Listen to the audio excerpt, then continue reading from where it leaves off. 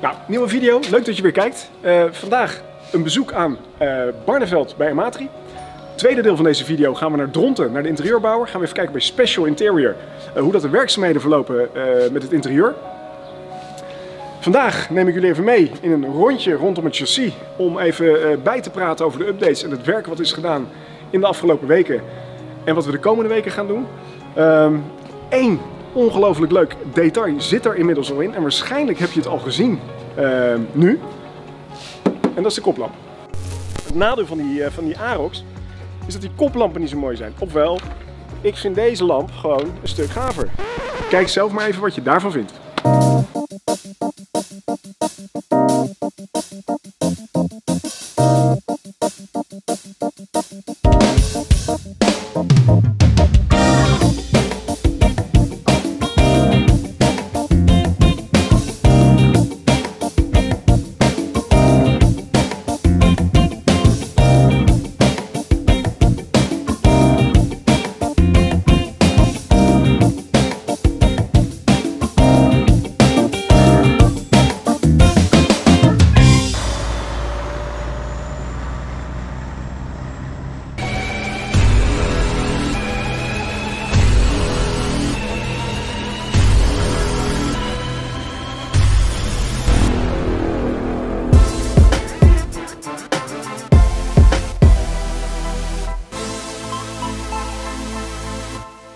Nou, de hele koplamp geeft ook een ander uiterlijk door deze luchtspoilers. Dus even los van de lamp is ook deze de spoiler die hier aan de zijkant feitelijk zit. Geeft hem ook een wat sportiever bodywork. Ben ik zelf erg over te spreken. Vind ik mooi. Um, er ontbreekt nog wel iets. Hier moet nog een klein uh, hoe zeg je dat, systeem in voor de koplamp reinigingsinstallatie. Die zit hier nog niet in. Komt er wel in. Mechaniek zit aan de achterkant, zit, er, zit erin. Hier komt een mislamp komt erin. Of tenminste één mislamp met een, uh, over met een, met een luchtrooster. Ja, en dan hebben we gewoon wel de grill van de Arox, de tandjes. Ja, en zeg zelf, dan heb je toch iets unieks eh, met de hele voorkant van deze auto, met de lampen van de Actros en de voorkant van de Arox. Nou, in een eerdere video heb ik uitgelegd dat het uh, kantelmechanisme voor de cabine straks uh, vraagt om een ander systeem. Het standaard pompje bij de trap is niet afdoende. Die gaat het niet redden om het hele gewicht omhoog te krijgen. In plaats daarvan komt er dus een cilinder die we ook gebruiken voor het heffen van, uh, van aanhangers. Die komt op dit frame. Dus het frame is inmiddels hier op het chassis gezet. De cilinder die komt hier in het frame zometeen te hangen met aan die twee uh, nokjes feitelijk het hele mechaniek. En die pompt straks elektrisch of hydraulisch ehm, de hele cabine omhoog. Dus dan zijn we echt af van die handpomp. Uiteraard wordt het zometeen nog helemaal gestraald en gespoten, hè, want zo gaat hij natuurlijk niet op. Maar goed, ja, um, gaat de goede kant op. Nou, dit is het hulpchassis. Dit is het hulpchassis wat straks op de vrachtauto wordt gemaakt. Waarbij uh, het hele laadplateau van de container hier eigenlijk de basis voor is. Dus hier komt straks aan de zijkant uh, ja, komt hier nog een hele constructie tegenaan. De uiteindelijke breedte wordt 2,55 meter ongeveer. En de twistlocks van de demonstratieunit die vallen straks ergens dus op deze constructie. Het is heel grof werk. Het gaat wel vrij snel. Hè? Dus dit is uh, wat dat gaat uh, vrij snel in elkaar te zetten. Als hij dus met een opgaat, gaan we ook kijken hoe dat die gaat passen in de combinatie met de kraan en de verlengde cabine. De lampjes moeten nog achterop. Het kentekenplaatje moet er een beetje netjes bij komen. Dus ook hier is nog wel wat te doen. Nou, hier liggen nog drie hele forse pakketjes staal. Hier ligt bij elkaar een kleine 1600 kilo uh, wat we gaan gebruiken onder het supportframe van de kraan. Het voordeel is van een klein beetje gewicht is dat we de, het rijcomfort wat verhogen, zodat hij niet te licht blijft. Uh, omdat het toch uiteindelijk een bouwvoertuig is, waardoor je kans hebt op bokkend rijgedrag. Door een beetje gewicht toe te voegen uh, hopen we dat in ieder geval een klein beetje te kunnen voorkomen. Want in de totale opbouw blijft de auto relatief licht. Er komt niet heel veel uh, zware lading in. En ook de opbouw qua, qua kilo's die, die we toevoegen valt ook mee. Dus vandaar dat we ervoor kiezen om onder de kraan toch een klein beetje extra body mee te geven. En dat gaan we doen aan de hand van deze drie plakjes staal.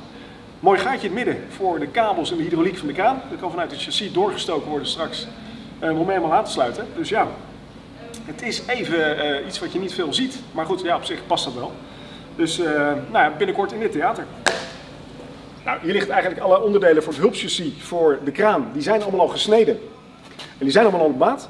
Dus een kwestie van op de juiste manier mecano elkaar klikken, even lassen, beetje gewicht eronder, op de kraan zetten, kraantje erop, tikken lopen zou je zeggen. Een ander leuk detail. We hebben straks om de container op te tillen, om eigenlijk van de auto af te krijgen, we twee mogelijkheden. De eerste is de hydrauliek die op de container zelf zit. Met de steunpoten kunnen we hem, uh, kunnen we hem uitschuiven en volgens de poten laten zakken, waardoor de auto eronder doorrijdt. Kan. We hebben ook de optie om hem op te tillen met de kraan, zoals, we hem, uh, zoals je hem hier achter me ziet staan. En in dat geval hebben we een evenaar nodig. Nou, een evenaar is eigenlijk niks anders dan een stalen balk om te kunnen hijsen. En die, uh, nou ja goed, zo'n ding weegt toch altijd weer een kleine 150, 160 kilo. Dus die wil je wel ergens hebben hangen. Nou, en die komt straks eigenlijk op het kopschot, dus tussen de container en tussen de kraan. Daar komen deze beugels. En daar ligt straks de evenaar in. Dus ook die komt op de auto. Nou, je ziet het hier, we hebben nog wel even werk. We gaan nu naar Dronten. We gaan eens even kijken bij het interieur. Dus ik zou zeggen, uh, blijf vooral kijken. En dan zie ik jullie zo meteen in Dronten. Drunk. I've never seen you clearer than now.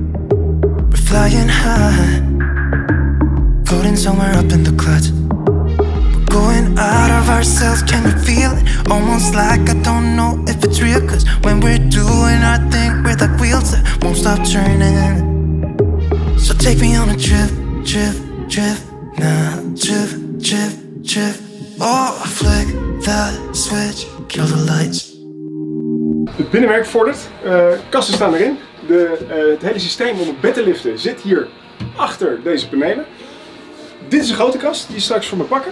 Als ik op reis ga straks in deze auto en ik ga Europa door, ben ik eigenlijk altijd wel redelijk netjes gekleed. Tenminste, dat is het idee. En met deze kast kan ik dus mijn pakken gewoon netjes kwijt. Het systeem voor het bed zit hier achter verwerkt. Dat is echt fantastisch, laat ik je zo even zien. Dat zit uh, met een hele mooie spindel en een elektromotor wordt straks het bed omhoog en naar beneden uh, gebracht. Dat valt hier eigenlijk tussen de kast en de achterwand en die kan helemaal tegen het plafond aan. En dan hou je dus hier, waar ik nu sta, houd je in principe uh, 1,86, 1,87 meter in sta-hoogte. Dus dat is mooi. Aan deze kant dezelfde soort kast, iets anders uitgerust. Hier komt zo meteen de magnetron. Aan de onderkant hebben we de koel-vries combinatie. Dus dan heb je hier feitelijk aan één kant, kan je dus vanuit je koelkast zo je eten in één klap in de magnetron werpen. Over nagedacht, ideaal. Hier maken we nog een, uh, ja, een lade feitelijk, een kastje voor een klein koffiezetautomaatje, een klein koffie uh, Nespressootje. Dus die, uh, die komt hier nog in met een laadje, een druk push-to-open systeem. Dan komt hij eruit. Dus ja, zeg eerlijk, um, mooie symmetrie. Gelijke vormen, Eén voor de nette kleding, de ander voor het proviant, um, magnetron en de koffie. Dus ja, volgens mij meer hebben we niet nodig. Plafonden is als eerste ingezet, daarvandaan zijn de achterwanden erin gezet, de zijwanden. Maar het belangrijkste hier nog, wat je nu eigenlijk al niet meer ziet, is het systeem voor het bed. En de mechaniek daarvoor is helemaal aangelegd van hier achter de kast, achter de wand, over de achterwand naar de andere kant toe. Dus de, de aandrijfassen die zijn allemaal, uh, allemaal aangelegd. Um, ja, dus dat is, uh, dat is een hoop werk, maar het zit daarin. En dat is zometeen echt een heel fantastisch mooi systeem. En het gaat elektrisch omhoog en naar beneden toe. Dit is het systeem voor het bed. Elektrische motor. Spindels. Dus hier aan hebben we zometeen de montage van het frame van het bed. Dus uh, hij drijft die aan. En er gaat een as gaat helemaal rondom in de cabine naar de andere zijde toe. Hetzelfde systeem zit uh, aan de overkant. Dus het bed hangt daar zo meteen op. En dan kan je met deze motor dus elektrisch bedienen. Nou, en sommige dingen die denk je altijd achteraf uh, zie je dat pas hoe complex dat is. Hier is het uh, luchtfilter eigenlijk in het exterieur wat je normaal gesproken de buitenkant ziet. Ja, dat zie je nu in de binnenkant. Het is helemaal afgewerkt met hout. Dus het wordt straks allemaal bekleed met stof of met alcantara of met leer. Maar ja, ga er maar aan staan om eventjes die rondingen erin te, te prutsen natuurlijk met een, beetje, met een beetje hout en epoxy. Kunstig. Dus ja, ze zijn echt ongelooflijk hard aan de slag gegaan hier bij Special Interior. In de afgelopen paar weken hebben ze de hele uh, ruwbouw feitelijk al in grote lijnen al helemaal klaar.